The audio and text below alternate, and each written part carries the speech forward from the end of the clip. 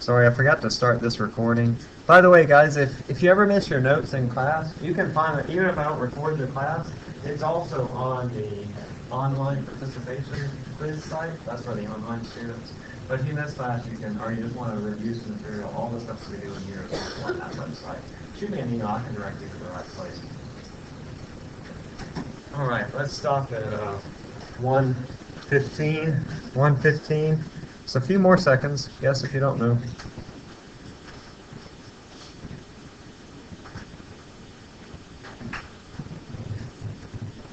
Hey, D is right. So, I have this cart. The best way to do this is. So this is the cannonball, and as I'm walking along, I'll throw it up. But the object still keeps going in the x direction. I'm giving this thing as I'm walking along a certain velocity in the x direction, and when I throw it up, it maintains that x velocity, continues traveling along with me. Okay? And so that's why it falls straight back into the cart.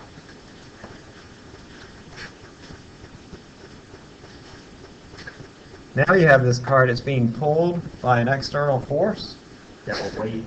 It's, it's speeding up, it's accelerating. It fires a ball straight out of the cannon as it moves, just like it did, straight up. Uh, after it's fired, what happens to the ball?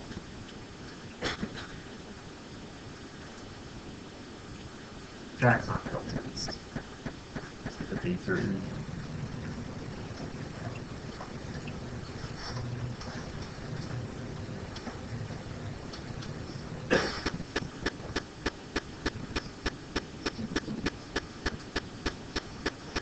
All right, doing really well. Stop at uh, 45, 45.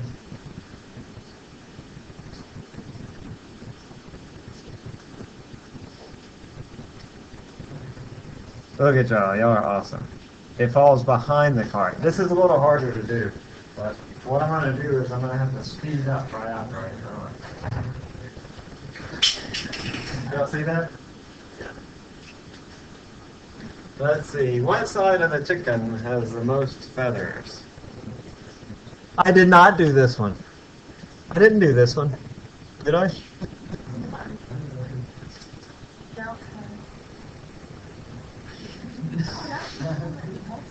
Blair, don't give away my punchline. You'll say, I don't know. The outside. It wasn't me, I didn't say it.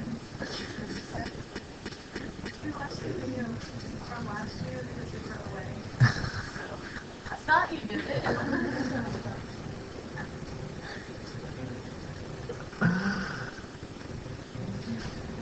All right. Drop a package from a plane flying at constant speed in a straight line. Without air resistance, the package will do what?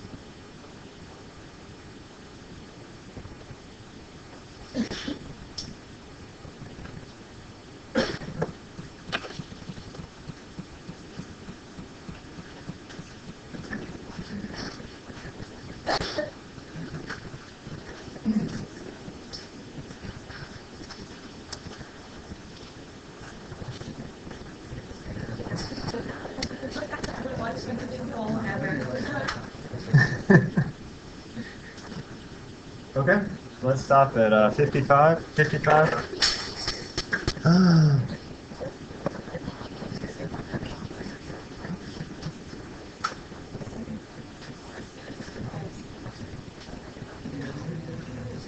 Thank Akira. Okay, good. It's going to be B. The right answer is B. Um, if this is my plane, it's traveling along and it drops a package, drops something right here. It just sort of drops it straight down. The plane continues going on straight. The package will fall like that. So when the plane is over here, that's when the package will actually hit the ground. You never see anybody drop a package from a plane. That doesn't happen. But that's what that is what happens. It does make sense. Because they go, like when you see it, uh, I think a package, you can think of it as, when you see it, a bomb. Right. So like when you see a plane drop a bomb, for example. Okay. All right. Let's try this one.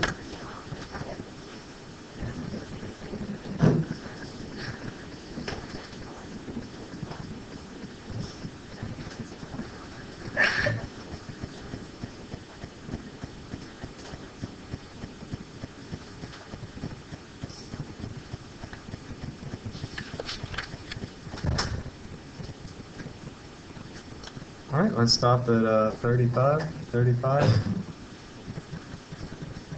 Pattern well. Ask your neighbor if you're uncertain.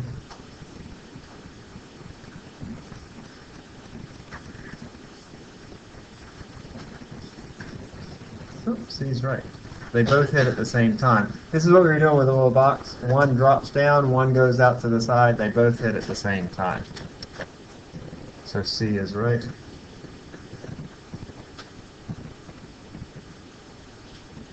Uh, this isn't a joke, but it's just sort of an interesting story. The police came to my house the other day. Got these new neighbors, and like I think they were causing trouble in the store. They they came over to our house, and they were like, said, "Hey, what's going on?" And but anyway, they knocked on the door, and they said, "Hey, can we have a quick word?" And I said, "Sure." Velocity. it's not a true story. So I do have new neighbors. Previous from which ball has the greater velocity at ground level? That is the drop ball or the fired ball. We have one ball that drops down like this, and then another ball that goes off to the side. At the bottom, at the ground, which has the greater velocity?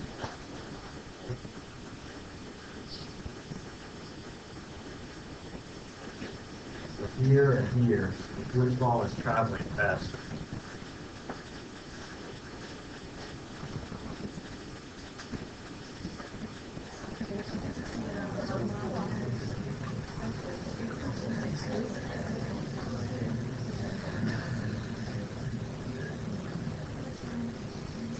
All right, I'm going to stop at 55. 55.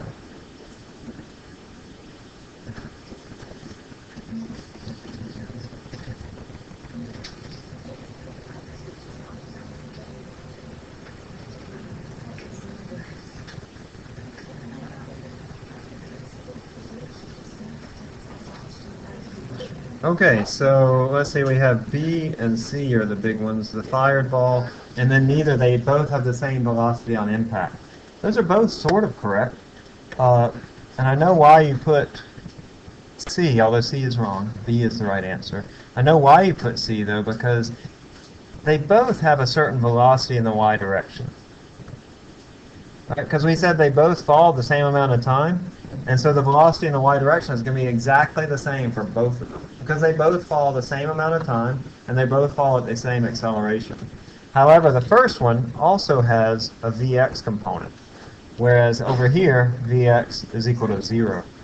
And so this one over here has not just the vy, but also the vx. And when you add those two up, you do the square root of vx squared plus vy squared, then that'll give you the total velocity, the speed, which will be uh, more than the drop ball. So B is the right answer.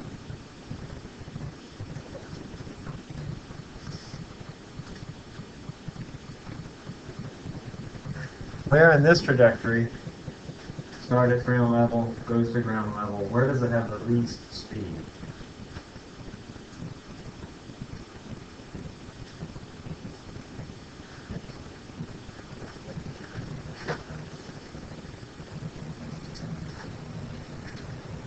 After this, we're going to go back to the quick test at the end of chapter three, so you can flip back if you if you want to wait for the answer. That's fine. But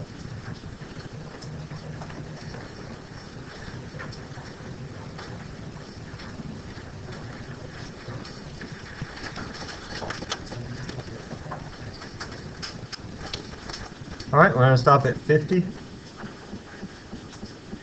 50.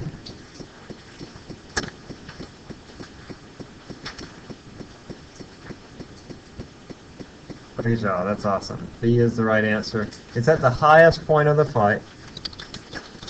It has the lowest speed because here I have both Vy and Vx, but up here I only have Vx. Vy goes to zero there, so it has the least speed at the top of the trajectory. And what happens to a frog's car when it breaks down? That's not my punchline. But thank you, Morgan. Is it you, Morgan? That it gets towed away. Ah. okay, we'll come back to this probably next time. Let's try this one. We did this one very similar to this, okay? So let's do it quick. You want to do it quick, quick, quick. First thing you want to do is find your time. Required to drop 125 meters. And then you can find your x displacement, dxt.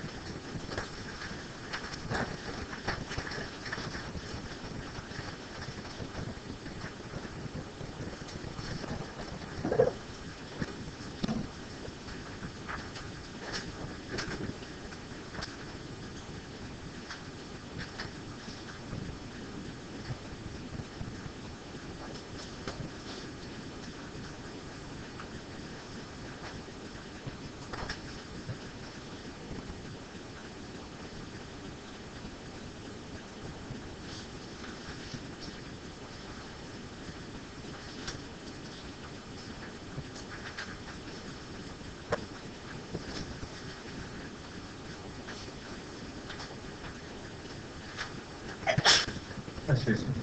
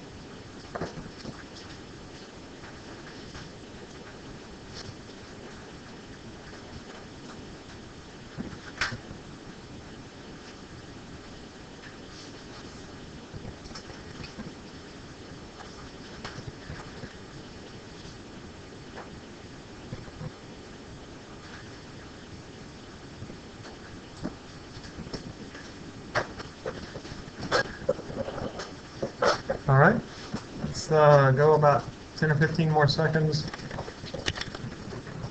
We're doing well. Ask your neighbor. They put. Stop at 305. 305.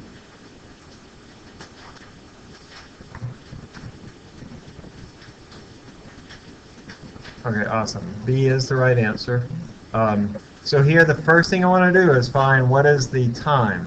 I want to find the time. In order to find that, I consider my y displacement. I say y is equal to v naught yt plus 1 half ay t squared. I'm just imagining that I'm dropping something from 125 meters, and I want to know how long does it take to fall that distance. And so this is negative 125. Remember, because this is 0, this is minus 125.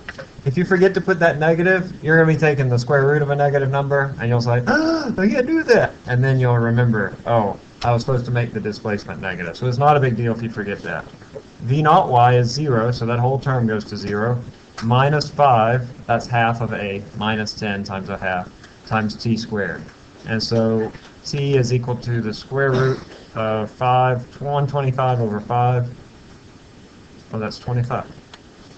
That's 5 seconds. So that's t is 5 seconds.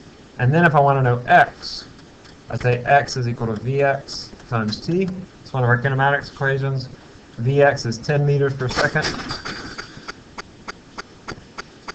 times t, which is 5 seconds. That's going to be 50 meters. So I have this object. It goes out a distance of 50 meters. Out here, the time that it takes to fall that 125 meters is 5 seconds. So my trajectory looks sort of like that. Let me do another problem for you. Uh, you wouldn't see one just like this on the test because it requires you to use the quadratic, but it's important. You might see it on the assignment, which I'll probably put up this afternoon and have due on Friday. Uh, and it's important for you pre-med folks too, and other people that take, you know, standardized tests with physics on it, but especially the MCAT. You might have to do something like this. Let's say that I have an object that looks like this. It has an initial velocity equal to 20.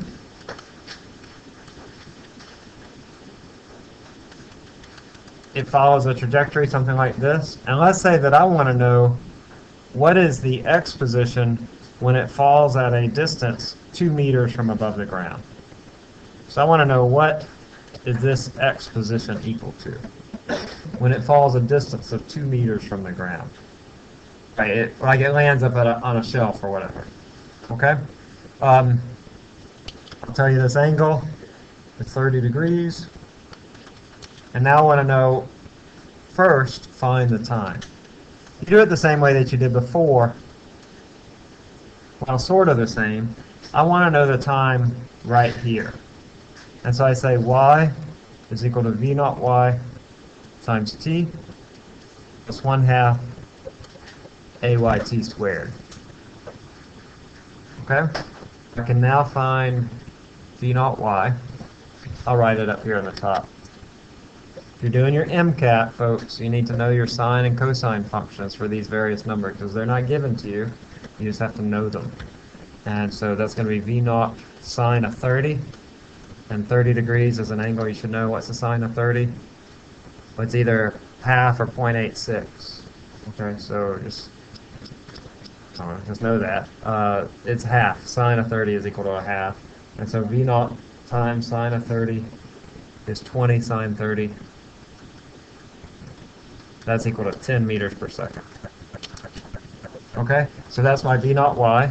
I can put in some of my values here. y is going to be 2 meters. That's where I am at this position, 2 meters above the ground. Here I'm letting this y naught equal to 0 is equal to 10 times t minus 5 times t squared, where I put in negative 10 for a. This requires you to use the quadratic. Right? As I told you, you won't have to use the quadratic on the test, but on the MCAT you might have to. So I rewrite this, 5t squared minus 10t plus 2, and that's equal to 0. Usually on the MCAT, the numbers are easy to work through, so you can do them in your, you know, without a calculator on the paper. Because you can't use a calculator. Did I tell you all that? On the MCAT? Y'all know that? It's true. What? Fun, right, yeah. And so when you have a quadratic, and you might have to do this on the OpenStax assignment, you say A, B, C, and then if you want to know T, you say that it is uh, negative B plus or minus the square root of b squared minus 4ac all over 2a. You will not have to use the quadratic on the test. Okay, I'm just showing you this because it might be on the OpenStax assignment where you have to use it, and just for you pre-med folks. So this is going to be negative negative 10, so positive 10 plus or minus the square root of negative 10 squared, that's 100, minus 4 times a times c. 4 times 5 times 2, that's minus 40. Is that right? Yeah. Divided by 2a, which is 10. Right, so that's 10 plus or minus root of 60 divided by 10. And this comes out to have two roots. It can be either 1.775 or 0.225. You know, try to work this out though, because you can estimate what the square root of 60 is, right? It's roughly 8-ish, right? 8, 7 or 8, between 7 and 8. And so you say 10 plus 7 divided by 10 That would be 1.7. 10 minus 7 divided by 10, that would be that 0.235. You know, you have to estimate, do some estimates if you're not using a calculator.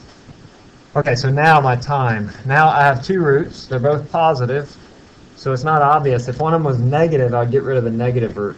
Which one am I going to use? The 1.775 or the 0.225? What do those two times physically represent?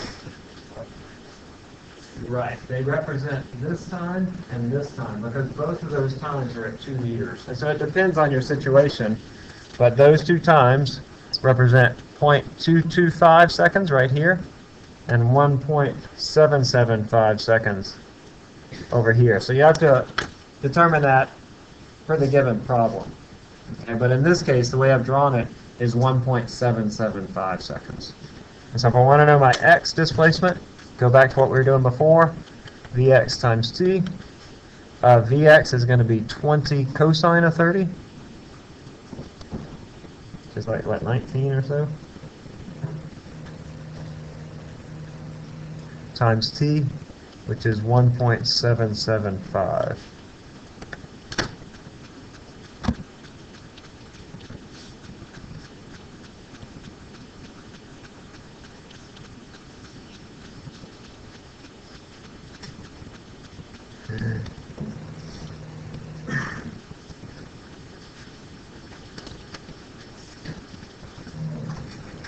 I get 31 meters. And so this distance right here is 31 meters. Okay? Again, you'll probably have a similar question on your OpenStax assignment, which we'll have due on Friday. I'll post it later in the day. Not on the test, but. Nothing else today.